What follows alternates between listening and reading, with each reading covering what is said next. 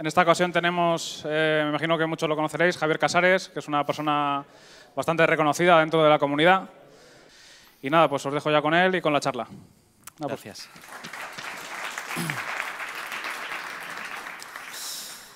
Bueno, hola a todos. ¿Me escucháis bien? ¿Sí? Vale. Em, me presento, ya me han presentado. Eh, soy Javier Casares, eh, me podéis encontrar en javiercasares.com. Eh, tengo una, bueno, empecé con WordPress en la 1.5 en el año 2005. Más o menos en febrero salió la, versión y en marzo, abril empecé a utilizarla. Y, como decía Pablo, tengo una herramienta que se llama WordPress Danger, que básicamente lo que hace es análisis de seguridad. Y a raíz de ahí, y de ahí salió un poco la charla, aparte de la herramienta, eh, he empezado a hacer otras cosas en paralelo y una de, uno de esos pequeños proyectitos en paralelo tiene que ver con la relación de WordPress y PHP. PHP, obviamente, entiendo que todos sabéis lo que es, porque básicamente WordPress sin PHP no funciona, ¿vale? Es el lenguaje de programación que hay de todo detrás de todo. Y eh, como detalle importante, la última actualización de, PHP es del día 29 de marzo, hace dos, tres semanas, ¿vale? Y actualmente solo hay tres ramas, bueno, hay estas cuatro ramas activas a nivel de, seguridad, desde el punto de vista de seguridad, pero solo dos de ellas eh, se deberían de utilizar, que es la versión de PHP 7.1 y 7.2. Es decir, todo lo que no sea 7.1 y 7.2, en teoría, no se debería de utilizar porque no está, o sea, está en mantenimiento de seguridad, pero no está en mantenimiento de funcionalidad nueva. ¿vale? Teniendo en cuenta, si veis el, calendario abajo, a finales de este año el soporte de la versión 7.1 se acaba. Por lo tanto, si tenéis la oportunidad de escalar las versiones nuevas, os recomiendo enormemente que empecéis a utilizar la 7.2.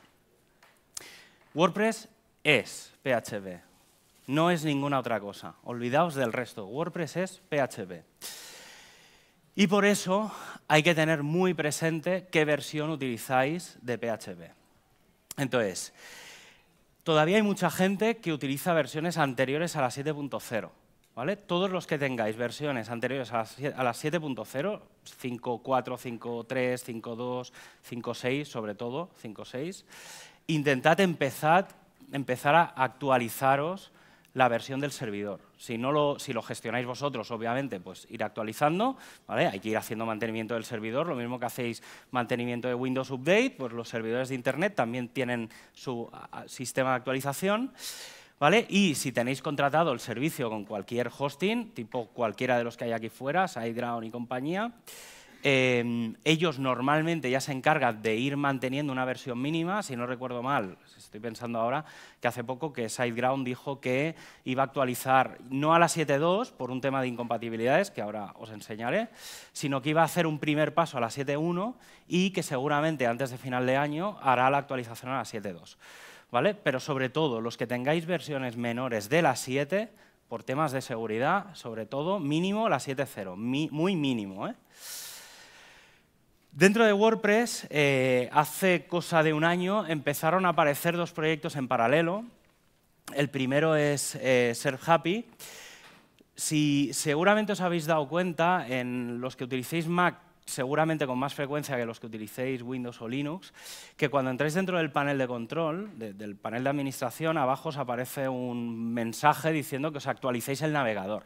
Ese proyecto de, simplemente que tenéis el navegador vuestro poco actualizado y por lo tanto poco compatible, se llama eh, Ser Browser. Y entonces, por el mismo sistema y el mismo concepto, se inventó el concepto este del Ser Happy. Ser Happy básicamente es un proyecto dentro de WordPress que lo que va a incitarte es actualizar PHP. ¿Vale? ¿Por qué? Porque básicamente hay muy, muy, muy una cantidad enorme de plugins y de plantillas que no son compatibles ¿vale? o con versiones muy antiguas o con versiones muy nuevas. ¿vale? El problema sobre todo está en que hay plugins que no son compatibles con las versiones 7. algo, ¿vale? que es completamente surrealista. Entonces, un poco por los dos lados, es decir, si hay un plugin que, vosotros tenéis versión 7 algo, los plugins que, sean, que no sean compatibles con las versiones 5 algo, pues obviamente hay que actualizar esos plugins o dejar de utilizarlos. Y los plugins que no sean compatibles con versiones nuevas, significa que el desarrollador no está haciendo bien su trabajo. Por lo tanto, ¿vale? vamos a tener que hacer una serie de cosas. ¿Vale? Entonces, em, principalmente la primera cosa que vamos a ver dentro de poco, ¿vale? Estaban, se lleva discutiendo desde hace un par de meses si iba a salir directamente la versión 5 o si va a aparecer eh, antes cuando los que estabais justo en la charla de antes, que se hablaba del tema de cuándo va a salir la versión 5 y tal. Em, tened presente que hace poco salió la 495, sí. Eh, pues están previstas que haya 496 y 497. ¿Vale? Entonces, eh, seguramente es muy probable que en una de esas dos versiones eh, aparezca esto. ¿vale? Esto básicamente es un mensaje que dentro del panel de administración, la idea, esto era la primera versión de la idea del concepto, era esto. ¿vale? Era un mensaje que dice, oye, ¿cómo se actualiza PHP? Porque obviamente al entrar al panel, el sistema detecta qué versión tienes de PHP y depende de la versión, te irá informando de que tienes que ir actualizando cosas, ¿vale? O sea, hay que mantener actualizado PHP y poco a poco iréis viendo el, el porqué. Esto fue la primera versión. Esto es una siguiente versión, obviamente, si la comparáis de esto a esto, es mucho más agresiva y está habiendo un poco de discusión a ver hacia dónde vamos, ¿vale? Hasta qué punto va a ser más o menos agresivo el mensaje de hay que actualizar. ¿vale? Esto nos lleva a la versión que parece que es la que se va a quedar y es la que ya está más o menos programada. Eh, los que utilicéis versiones de test, las betas, las alfas y, el, track, eh, el trunk eh, del, SVN, encontraréis que esto ya está metido dentro del sistema. Es decir, no está comiteado para la siguiente versión, pero está hecho. ¿vale? Ahora lo que se está discutiendo es qué frases se ponen, ¿vale? Porque el, tema de si es muy fácil, si es muy difícil, si la frase quiere decir una cosa u otra, pero al final el mensaje es muy claro. Es, hay que actualizar PHP. Quedaos con eso. O sea, lo primero que tenéis que hacer cuando lleguéis a casa el, lunes, cuando volváis un poco al día a día, es mirad qué versión tenéis de PHP y si no tenéis una versión 7 algo, por favor, pedid que os la actualicen. Para eso se ha creado eh, esta API, ¿vale? y eh, os he puesto este ejemplo, que es bastante extremista, pero básicamente para que os fijéis un poco en cuáles son los tres, cuatro elementos que se quieren informar en ese pequeño mensaje o en cualquier sistema. ¿vale? Esto es también bastante útil para cualquier plugin que quiera ir verificando si es compatible con sí mismo o no. entonces, básicamente, cuando hacéis una llamada y le pasáis el número de versión del PHP que, se está utilizando, ¿vale? devuelve la versión recomendada. Em, cuando, empezó, cuando empecé a ver sobre este proyecto hace dos meses, tres meses, la versión recomendada era la 5.6. Hace un mes y medio la versión recomendada era la 7.0 y hace eh, un mes o tres, cuatro semanas, ha sido directamente la 7.2. Es decir, WordPress solo recomienda la última versión de PHP. Tenerlo presente, ¿vale? Sobre todo los que desarrolléis y demás por el tema de compatibilidad de funciones. Luego veremos cosas. ¿Vale? Entonces, aparte vienen tres elementos más. Si os fijáis es si está soportado, si es seguro y si está aceptado ¿vale? o es aceptable su uso eh, dentro del sistema. ¿vale? Entonces, básicamente, si está soportado es porque el propio PHP eh, se mantiene o no, ¿vale? Pues en este caso la versión 5.1 de PHP ya no tiene soporte.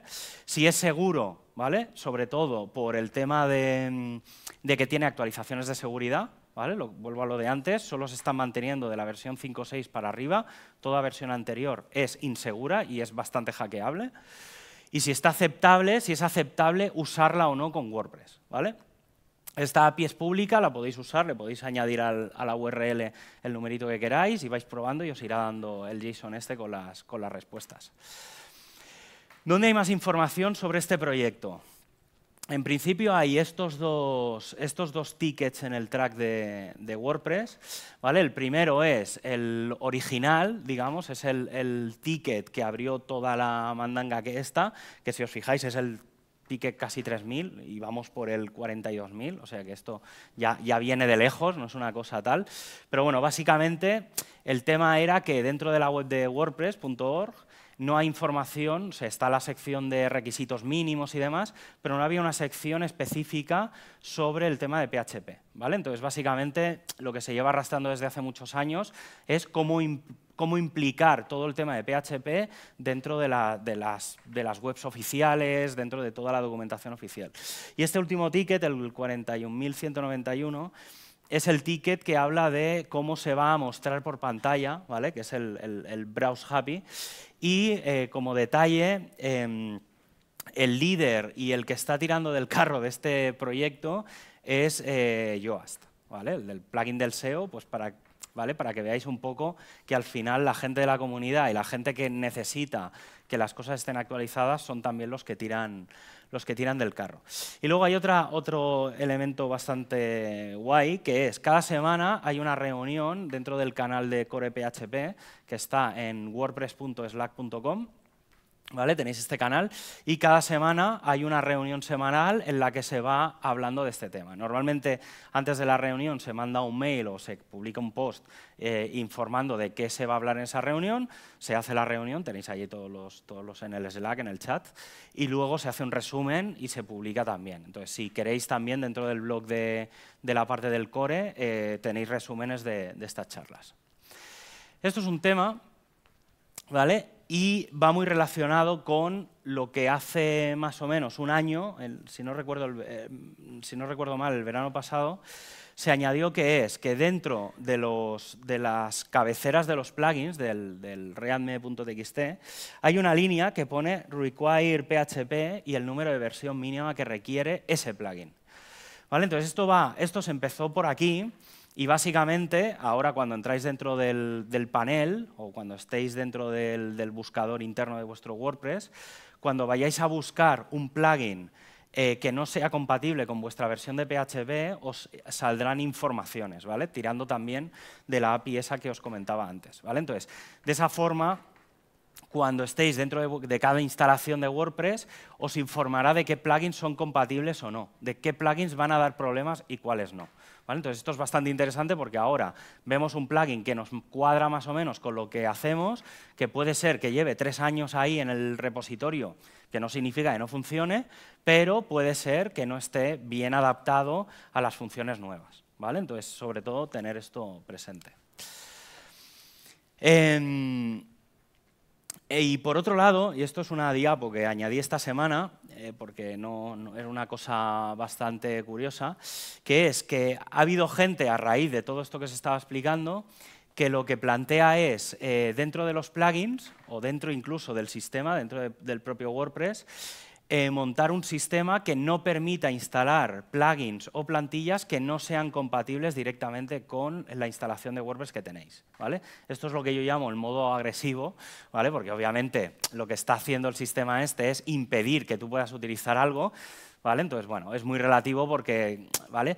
siempre queda la posibilidad de te bajas el, plugin, lo, actualizas o directamente informas tú de las, de las incompatibilidades que hay y con suerte el desarrollador las cambiará y las hará públicas a todo el mundo. Si no, cogéis esa versión vuestra, os la hacéis vuestra, que por eso es GPL, y tirad millas. ¿vale? Cambiamos de tercio.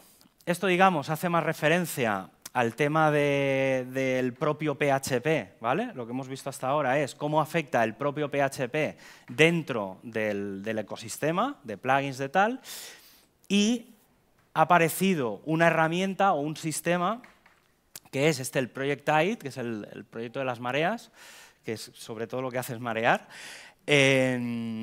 que es el que, el que yo estoy empezando a utilizar dentro de WordPress Danger, ¿vale? Los que, si, si, si, dentro de WordPress Danger verificáis vuestro sitio, ¿vale? Os mostrará la información del Project Type dentro de los resultados de cada plugin y tal, y básicamente lo que hace es un análisis, ¿vale? Entonces, El objetivo final o el resumen y para que sea fácil de entender todo el proyecto, ¿vale? porque el proyecto es complicado, está Google metido detrás, o sea, hay, hay bastante gente gorda detrás metido del proyecto, es darle unas estrellitas a los plugins y a las plantillas, pero darle unas estrellitas desde el punto de vista de calidad del desarrollo. ¿Vale? O sea, normalmente estamos ahora acostumbrados a entramos, vamos allí a los plugins, vemos si tiene muchas estrellitas y los que tienen cinco estrellitas son buenos y los que tienen menos de tres son malos, porque a la gente no le gusta porque seguramente no funcionan. Claro, eso es muy subjetivo porque al final dependes mucho de la opinión de la gente. O sea, que un plugin te guste o no, bueno, pues me gusta o no. ¿Vale? Este, este objetivo no es una primera fase, este objetivo es para hacerlo completamente automático. Es decir, ahora todavía no está, ¿vale? se hace de forma síncrona, se va pasando digamos, un, un cron cada X tiempo, pero el objetivo final es que cuando se suba una actualización nueva de un plugin o de una plantilla al repositorio, por narices pasa este sistema antes. Entonces, depende de qué tipo de errores te dé, no te va a dejar subir esa versión del plugin, ¿vale? si no corriges determinados temas. Vale, entonces, esto, esto ya es la parte técnica de cómo funciona este proyecto. Básicamente eh, empezó, lo que os digo, este proyecto es muy, muy nuevo y se está dedicando bastante tiempo.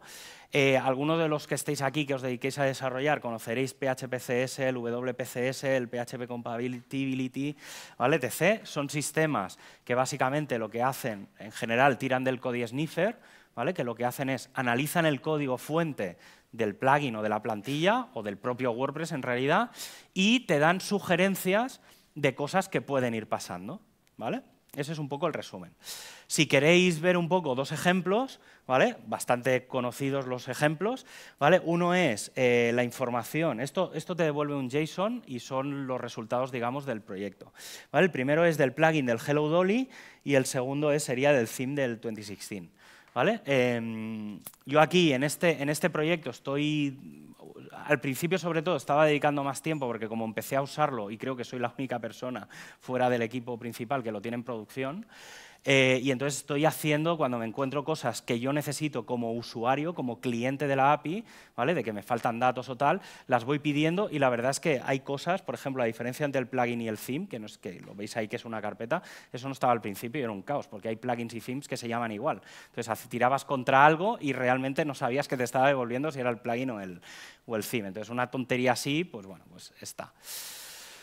¿Vale? Básicamente, esto es un poco los esquemas para que veáis un poco cómo la gente piensa y cómo van publicando. Y esto está en el ticket del track, están ahí estos diseños. ¿Vale? Es un poco la idea de cómo se podría enseñar el tema de la, compatibilidad.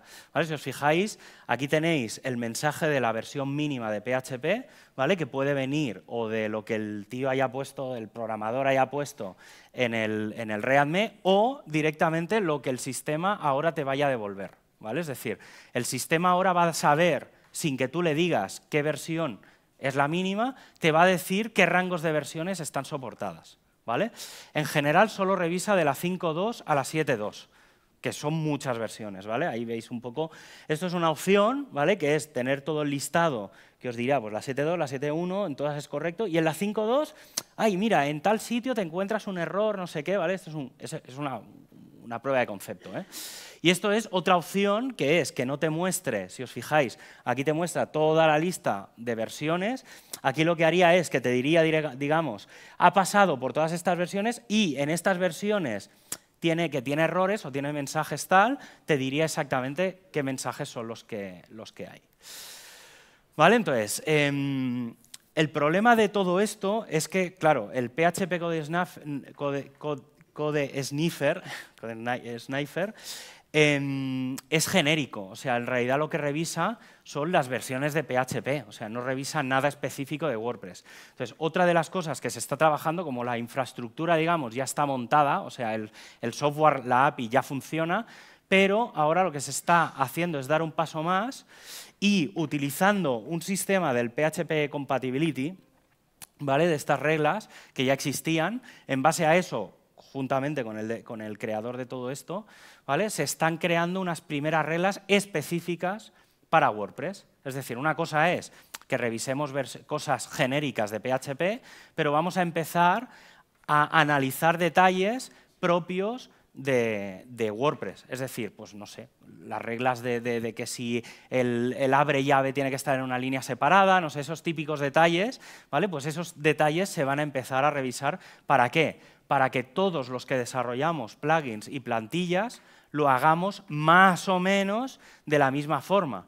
Entonces, que el GPL se lleve al extremo, es decir, que todos los desarrolladores seamos capaces más o menos de entender el código de cualquier plugin o plantilla que se desarrolle para WordPress. ¿Vale? Un ejemplo ¿vale? Eh, es Nilo con el plugin Machete. Eh, estábamos en el... Bueno, empecé yo a comentar, a dar la turra con, este tema del, del y de historias en el Slack. Y entonces, claro, alguien dijo, hostia, esto que dice Javi tiene buena pinta, voy a probarlo. Y entonces Nilo, con, el plugin este machete, lo que hizo fue ejecutarlo, ¿vale? Obviamente no ejecutó todo el sistema de tight, sino que, hablando del PHP pues dijo, mira, voy a coger el sistema del estándar del WordPress, el que ya hay por ahí, voy a ejecutarlo, que me lo haga, y la primera versión le dio 6.300 errores y 726 warnings en su propio plugin. ¿Vale? Al cabo de 15 días, como veis, después de 4.500 cambios y no sé qué, ¿vale? pasó a 159 errores y 29 warnings. ¿vale? Él dice que, obviamente, le ha, él ha aprendido muchísimo con, al ver esto, porque obviamente ha aprendido cosas de código y de funciones antiguas, tal, ¿vale? Porque normalmente cuando te pones a programar te aprendes un código de, cuando empezaste, pues yo empecé a programar en PHP en 2001, o sea, imaginaos la versión de PHP que tengo yo en mi cabeza, ¿vale? Entonces, claro, a mí yo cada, cada vez que necesito funciones nuevas entro en la web de PHP para ver si más o menos es compatible con todo lo que necesito, ¿vale? Aparte de ese sistema que es ejecutándolo por consola, hay em, clientes ¿vale? de desarrollo que te permiten verlo visual. ¿vale? Aquí lo que te muestra es un mensajito, pues oye, te has dejado en la validación de no sé qué. ¿vale? Básicamente, si queréis ejecutarlo, está aquí, ¿vale? esto es público, luego cuando tengáis la presentación, pues copiáis y pegáis. Básicamente es como se instala el CodeSniper con el sistema estándar de, de WordPress. Y básicamente esto es lo que te, lo que te devuelve por pantalla. Obviamente esto es feo de narices. ¿Vale? Pero bueno, más o menos te empieza a dar una ligera idea de por dónde van los tiros. ¿vale? Aquí tenéis, si queréis utilizar el, el code Sniper con algunos IDEs, pues PHP Storm, Visual Studio, el Eclipse, tal, ¿vale? Pues aquí tenéis eh, añadidos. Hace foto. Pero vaya, que va a estar la presentación disponible. Creo incluso que ya está puesta en, o debería de salir programada en mi blog hoy. Eh, y luego un detalle interesante es que hay mucha gente del equipo de Tide que va a estar en la WordCamp Europe. Entonces, si queréis, eh, si alguien de aquí va a la WordCamp Europe, podéis contactar con, con o con Jeffrey, que van a estar allí. Incluso para el Contributor Day se han planteado tener una mesa de trabajo solo de esto y seguramente se unirá la gente del, Ser Happy, porque al final no deja de ser primo hermano una cosa de la otra. Y esto es lo que he estado haciendo yo estos días atrás, que es lo que me llevó a hacer la presentación, que básicamente, si entráis en php.wordpressdanger.com, eh, tenéis, por ahora todavía falta, ¿eh? o sea, está un poco en beta y a veces peta. Eh, y básicamente os he puesto un ejemplo bastante sencillo, que es el plugin de Yoast, que es el que en principio más detecta WordPress Danger que todo el mundo usa. Básicamente aquí te viene a decir qué versiones eh, está, analizado, qué versión del, del Yoast en este caso, de qué versión a qué versión es compatible, ¿vale? en este caso es de la 5.4 a la 7.2, los datos del plugin, y debajo os mostrará una lista con toda la información de qué cosas no son compatibles. ¿vale? Entonces, por ejemplo, en este caso te dice que la versión 5.3, la, la, función HTTP build query no sé qué, necesita un parámetro que obviamente está en el código fuente del Yoast, pero si tú tienes el servidor eh, con la versión 5.3, te peta, porque esa, esa función, como está programada, solo funciona de la 5.4 en adelante. ¿Vale? Este, dentro de lo que cabe, hay plugins que no tienen ningún error, ¿eh? ya, ya, lo adelanto. ¿Vale? Este es de los pocos, de los que más se usa, es de los que menos errores tiene, o del, al menos que tiene menos, menos las versiones más anteriores. Pero hay plugins que tiran mucho, o sea, hay plugins, Jetpack, por ejemplo, el análisis que hay, no es la, última versión, no es compatible con las versiones 7, ¿vale? O sea que es como todo lo contrario, para que os hagáis un poco de idea de por dónde van las cosas. ¿Vale? Ahí arriba tenéis dónde está la presentación, os la podéis bajar ya. Eh, aquí tenéis cuatro blogs Los, sitios donde está toda la información, más o menos, que os puede ser interesante relacionada con estos dos proyectos, que es el blog del core, el de plugins, el del Tide, que tiene un, blog específico, y el de hosting en general, que es el que tira más con core de todos los temas de PHP. Y ya está.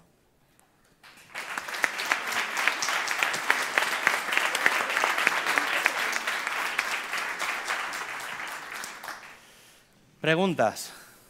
Sé que es un tema complejo porque al final, aunque te vengan a hablar de, a dar una chapa de PHP, de que no tenéis el servidor actualizado y tal, pero bueno, algo, algo haremos. ¿Nadie se anima? ¿Preguntas? ¿Todo claro? Perfecto. a ver, por aquí. Hola, eh, ¿qué tal? ¿Cómo estás? Bien. Oye, quería hacerte una pregunta. Mira, eh, la compatibilidad con la versión 7.0 en muchos hosting sabes que no existe. Sí. ¿Vale? Eh, ¿WordPress ha hecho algún tipo de plan para poder hablar con las grandes empresas sobre este sistema? En principio, los grandes tipos SiteGround y bueno, todos los que están aquí fuera, más otra gente, precisamente el, último que os he puesto del tema del hosting, dentro de los canales de Slack hay un canal que es también de hosting y normalmente están las empresas de hosting ahí. Y cada semana también hay una reunión semanal en la que se van explicando cosas de, ¿vale? Se van poniendo de acuerdo. Un ejemplo claro es con la versión 493, cuando que no se permitía hacer la actualización a la 494, ¿vale? pues se habló con, todo, con todos los grandes hostings para que se hiciera automáticamente ese upgrade. ¿vale? Entonces, en principio, esa, esa comunicación existe, el único tema es que, claro, obviamente hay hostings que no son los grandes, ¿vale? Y uno se tiene que dedicar a lo suyo. Yo, por ejemplo, utilizo bastante Ubuntu en general y Ubuntu, por ejemplo, lleva la 7.0 o le puedes meter fácilmente la 7.0, pero subir a la 7.1 o la 7.2 ya tienes que empezar a hacer cosas que se van del repositorio oficial. Entonces, claro, ¿sabes qué es? ¿Qué hago? Bueno, pues bueno, tienes la opción de jugar con la forma de subirlo o mantenerlo en la 7 y dices, bueno, como mínimo tengo una 7 que es relativamente segura, pero a finales de este año ya está. ¿Vale? Pero bueno, dentro de nada, en teoría, dentro de, bueno, en teoría la semana que viene sale la nueva versión de Ubuntu, o sea que supongo que espero que como mínimo lleve la 7.1. no lo he mirado. algo habrá que hacer. Sí. Mira, Dime. Eh, felicidades por la charla, como siempre a tu nivel, bien. eh, ¿Cuál es la idea del TIDE? Que al final sea un sistema eh, que autoevalúe los plugins de cara al usuario, o sea, que no sea que, o que no sea compatible con las opiniones de los usuarios. A ver, hay, hay dos partes, digamos. Está la parte que hace más referencia al desarrollador, es decir, cuando tú subas el plugin al repositorio y demás, te dará el, informe, o lo tienes disponible, porque está la API y tal. Entonces, básicamente es, tendrás un informe que te dice, oye, tendrías que mejorar estos cambios, ¿vale? o estas funciones o tal, porque estás utilizando cosas que a lo mejor no son compatibles con las versiones de PHP que tú quieres, que quieres darle soporte. ¿vale? Y luego, por otro lado, ¿vale? Es el, yo creo que el objetivo final no es una cosa que a corto plazo haya diseños ni nada, porque está todavía muy en plan APIs y demás, pero la idea es que lo mismo que cada vez que se muestre el bloque de un plugin, tendremos las estrellitas en amarillo de los usuarios, pero habrá unas estrellitas en gris que serán las que el sistema te diga de cómo cuál es la fiabilidad con respecto a tu versión de, o sea, en realidad esas estrellitas dependerán mucho de qué versión de WordPress tengas. Es decir, dependerá de cada usuario. Entonces, en el repositorio oficial seguramente habrá algunas cuando navegues por wordpress.org, em, pero luego cuando estés dentro de la instalación, tirando de las otras APIs y demás, al final, ya digo, son dos proyectos que se, que se unen bastante, entonces te devolverá más o menos información de hasta qué punto los errores que te da son graves, son leves, son warnings, ¿vale? Entonces ya está. Y, antes dijiste que la 7.2 tenía un problema sobre las 7, que lo ibas a contar, que no has contado. No, al revés. o sea, todo lo que hay menor de las 7 El problema que tiene es que hay unas librerías de temas de seguridad que, no están, que sí que están en las 7, pero no están en las 5 algo. ¿Vale? Entonces, sobre todo, por eso es importante ya empezar a utilizar la, la 7. Y sí que, también desde el punto de vista de seguridad, la 7.1 y la 7.2 tienen unas pequeñas librerías que no tienen la 7.0, que son las que, digamos, te dirías que, bueno, aparte por un tema de velocidad, o sea, de las de las 5.6 a las 7 funciona cerca de un 25-30% más rápido. Y de las 7.0 a las 7.2 creo más o menos entre un, o sea, un 5 o 10, depende mucho del proyecto, ¿vale? Pero claro, ahí ya es, claro, la 7 ya es, va, va reduciéndose, pero bueno. ¿Algo más? No sé si hay más tiempo. No, ya no hay más tiempo. ¿No? Pues ya está. Gracias.